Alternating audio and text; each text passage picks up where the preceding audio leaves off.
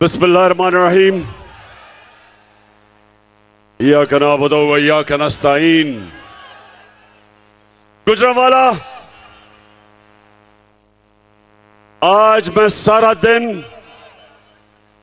आपके शहर में हूँगा और अपने गुजरावाला के बशूर शहरियों से मैं आज आपको आगे आगे आने वाले वक्त का रास्ता दिखाऊँगा। गुजरावाला ये याद रखना कि जब तक के कौम हकीकी तौर पे आज़ाद नहीं होती, उस कौम की कोई दुनिया में हैसियत नहीं होती, दुनिया में इज़्ज़त नहीं होती।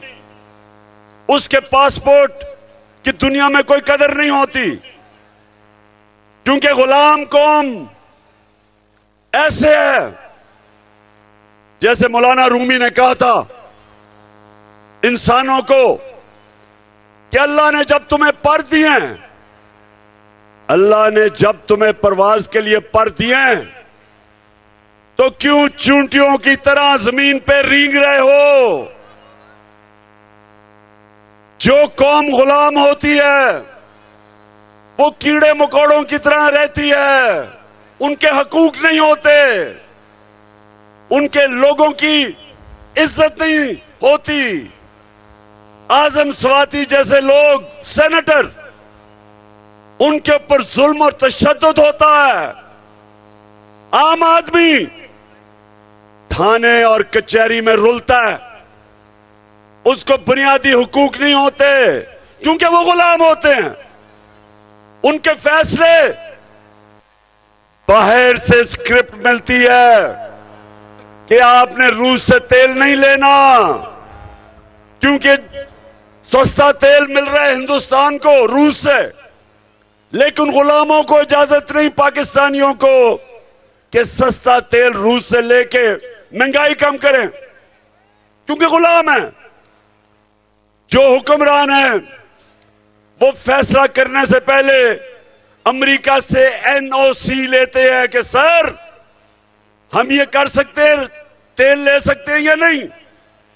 तो मैं, गुजरावाला, आपके पास आज सारा दिन आपको एक चीज़ बताऊँगा कि अल्लाह ने हमें आज़ाद, हमें कैसे आज़ाद किया है? जब अल्लाह कहता है, जब अल्लाह के सामने अब दावा करते हैं, ला इलाहा इल्लल्लाह, अल्लाह तेरे सिवा किसी के सामने नहीं, हम झुकते। ये दावा है आज़ादी का। और जब फिर हम किसी सुपर पावर के सामने घुटने टेकते हैं, मेरी नज़र में ये शिरक है। जब एक किसी पाकिस्तानी शहरी को तशद होता है उस पर जो आज़म स्वाति शबाज गिल पे हुआ, जो अरशद शरीफ को मुल्क छोड़ना पड़ा और कत्ल किया, शहीद किया उसको, क्योंकि वो हक और सच पे खड़ा था। ये गुलाम कौमों में होता है, आज़ाद कौमों में ये नहीं होता। आज़ाद कौमों के हकूक होते हैं। शहरियों का अदालतें उनके बुनियादी हुकूक की हिफाजत करती हैं। और दूसरी चीज़, गुजरावाला, मैं वो पाकिस्तानी हूँ जिसने अपने मुल्क को टूटते देखा था।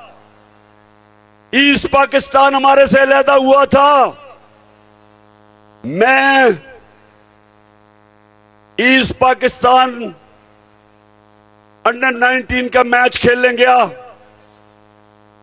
हमें पता ही नहीं था कि वहाँ कितना गुस्सा है ईस्ट पाकिस्तान के लोगों को। क्यों गुस्सा था? क्योंकि उनकी जो सबसे बड़ी जमात, जो पाकिस्तान की सबसे बड़ी जमात, वो ईस्ट पाकिस्तान से थी। वो इलेक्शन जीत गए थे। लेकिन ईस्ट पाकिस्तान के लोगों को गुस्सा यह था कि जो उनका हक था, जो मैंडेट था, वो नहीं दिया जा रहा था। क्यों नहीं दिया जा रहा था? क्योंकि यहाँ एक सियासतदान, उसने साजिश की।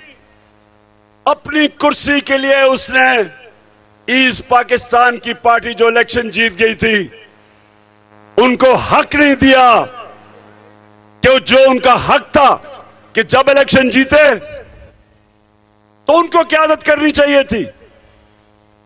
वो उस सियासतदान ने पाकिस्तान की फौज को उस पार्टी के खिलाफ खड़ा कर दिया। और नतीजा ये हुआ कि पाकिस्तान टूट गया। हमारा मुल्क आधा हो गया। आज फिर ये जो लंदन में बैठा हुआ भगोड़ा है और ये और इस मुल्क की सबसे बड़ी बीमारी जरदारी। ये दोनों डाकू मिलकर कोशिश कर रहे हैं कि पाकिस्तान की सबसे बड़ी जमात उसको मुल्क की इस्टेब्लिशमेंट के खिलाफ खड़ा करे।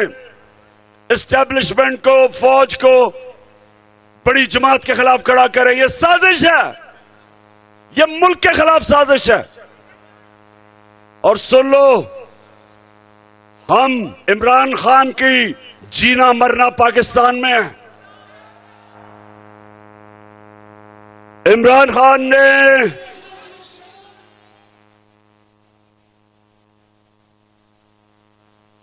सुन लो गौर से, मेरे ऊपर कोई तीस एफआईआर काट चुके हैं। दहशत गर्दी का केस मेरे ऊपर कर चुके हैं। मेरे ऊपर वो एक इनका शरीफ खानदान का घर का पालतू नौकर, चीफ इलेक्शन कमिश्नर, वो अलहदा मेरे पे केस कर रहा है। उसको तो खैर मैंने अदालत के अंदर लेके जाना है और दस अरब का हरजाना करूँगा इसके, इस बदनीयत आदमी के खिलाफ। ये सब मिलके ये सारे मिलके एक इनका मकसद है कि किसी तरह ये चोर ऊपर मुसलत हो जाएँ और पाकिस्तानी फौज को टाकरा करवाएँ। पाकिस्तान की सबसे बड़ी जमात और वाहिद जमात, जो एक फेडरल पार्टी है, जो मुल्क को इकट्ठा रख सकती है। इनकी तो खानदानी जमातें सुकड़ के छोटी छोटी जमातें रह गई हैं। ये तो थोड़ी मैं चैलेंज करता हूँ कि जब भी नवाज़ शरीफ तुम वापस आओ और इलेक्शन लड़ो, मैं चैलेंज करता हूँ, तुम्हारे हल्के में जाके तुम्हें हराऊँगा। और और जरदारी जरदारी, तुम और तुम्हारा देसी वलैती बेटा, जो अंग्रेज़ की तरह उर्दू बोलता है। बारिश आता है तो पानी आता है। चौदह साल में उर्दू नहीं सीख सका। मैं सिंध आ रहा। हूँ मुझे जरा इधर से फारग होने दो। जरदारी, तुम्हारे पीछे मैं सिंध आ रहा। हूँ तैयारी कर लो। सिंध के लोगों को सबसे ज़्यादा आज़ादी की ज़रूरत है। सबसे ज़्यादा जुल्म सिंध के लोगों के ऊपर है। तो इंशाला हम वो जमात है। और मैं वो सियासतदान हूँ, जिसने मुल्क से बाहर नहीं भागना। मैं नवाज़ शरीफ नहीं हूँ कि हर वक्त जब उसके ऊपर कोई केस होता है, पहले मुशर्रफ के घुटने गोडे पकड़ के एनआरओ लेके बाहर भाग गया। फिर एनआरओ लेके वापस आया। फिर यहाँ डाके मारे। फिर जब वक्त आया एहतसाब का, फिर इसने अपने रिज़ल्ट, जो इसके मेडिकल रिज़ल्ट थे, उनमें भी धांधली की। और उसके बाद बीमार करके फिर बार भाग गया। और आप इंतज़ार कर रहे हैं कि जनाब, बड़े ताकतवर एस्टेब्लिशमेंट से इसको एनआरओ मिलेगा और ये वापस आ जाएगा। जिस तरह मनी लॉन्ड्रर इसहाक डार वापस आ गया। नवाज़ शरीफ, तुम सब, मैं अपनी सारी कौम को आज कह रहा हूँ कि इंशाल्लाह हम सब मिलके डाकू नवाज़ शरीफ का इस्तकबाल करेंगे। और सीधा एयरपोर्ट से तुम्हें अडियाला जेल लेके जाएँगे। और मेरी कौम सुन लो, ये वक्त है अपने आप को हकीकी तौर पे आज़ाद करना। और आज़ाद हम करेंगे इंसाफ के ज़रिए। हम इस मुल्क में कानून की बानादस्ती के लिए जंग लड़ते रहेंगे, इंसाफ के लिए जंग लड़ेंगे, ताकि कानून के सामने सब एक बराबर हो। ये नहीं कि बड़ा डाकू मुल्क लूट जाए, पैसा बाहर ले जाए और उसको एनआरओ मिल जाए। और बेचारा है छोटे लोग, गरीब लोग, महँगाई, बेरोजगारी में, मजबूरी में वो चोरी करे तो जेलों में गल सड़ रहे हो। हज़रत अली रज़ी ताला ने फरमाया था, कुफर का निज़ाम चल जाएगा लेकिन जुल्म और ना इंसाफी का निज़ाम नहीं चल सकता। पाकिस्तानियों यह निज़ाम नहीं चल सकता। इसको बदल के लिए हमने इसको बदलना है। जब कहते हैं कि कौन बचाएगा पाकिस्तान, इमरान खान नहीं बचाएगा। आप बचाएँगे पाकिस्तान को। आप मेरे साथ मिलकर इस मुल्क को आज़ाद करेंगे। और आज़ादी, सुन लो, नबी सल्लल्लाहु अलैहि वसल्लम ने मदीना की रियासत में इंसानों को आज़ाद किया था। सबसे पहले अदल और इंसाफ कायम करके अदल और इंसाफ इंसानों को आज़ाद करता है। नहीं तो इंसान चूंटियों की तरह ज़मीन पर रेंगते हैं। ऊपर परवाज नहीं होती इंसानों की जो गुलाम हो, जिधर इंसाफ ना हो। अल्लाह ने बार बार कुरान में हुक्म किया कि मेरी ज़मीन पे इंसाफ कायम करो। ये इंसाफ नहीं है कि आज़म सवाती पचहत्तर साल के सेनेटर को तशद करो।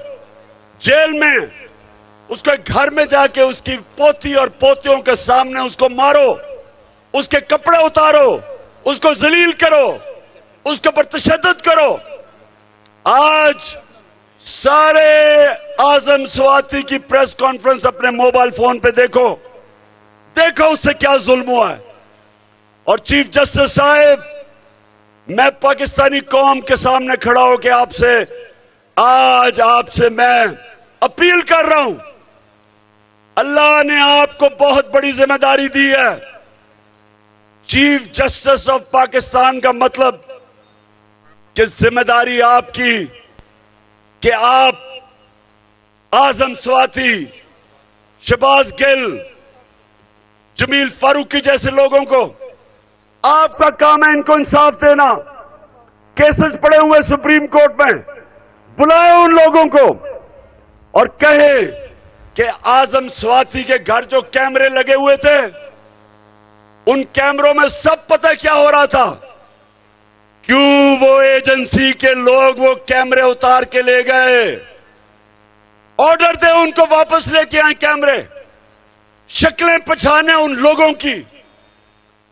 ये सरकारी नौकर नहीं, ये मुजरिम है, जिन्होंने उनको मारा घर में आके, पोती और पोतियों के सामने उनको मारा, एक सेनेटर को मारा, और वो क्या कह रहा था? उसकी आज़ादी राय है, उसके पाकिस्तान का आइन इजाज़त देता था। वो कोई मुल्क दुश्मन नहीं था, वो कोई गद्दार नहीं था, वो कोई दहशतगर्द नहीं था। तो मैं चीफ जस्टिस साहब ये जो हमारी हकीकी आज़ादी की तहरीक है, हम आपके तरफ़ और पाकिस्तान की अदलिया की तरफ़ देख रहे हैं। सारी कौम देख रही है कि आपने इस मुल्क में कानून की बालादस्ती कायम करनी है। अब आपने सबने मेरे साथ खड़े होकर हल्फ लेना है। आपने सब अपना हाथ उठाना है। और ऊँचा मेरे बाद फैसल आगे बोलेगा आपने सबने ऊँची आवाज़ में बात करनी है जी, शुरू करते हैं। बिस्मिल्लाहमान रहीम हम हल्फ उठाते हैं कि हम पाकिस्तान के आइन की हमेशा पासदारी करेंगे। हम कभी भी अल्लाह के सिवा किसी के सामने नहीं झुकेंगे। और हम हकीकी आज़ादी के इस जिहाद में आखिर तक इमरान खान के साथ जदोजहद करेंगे। अल्लाह हम सबका हामी और नासिर हो।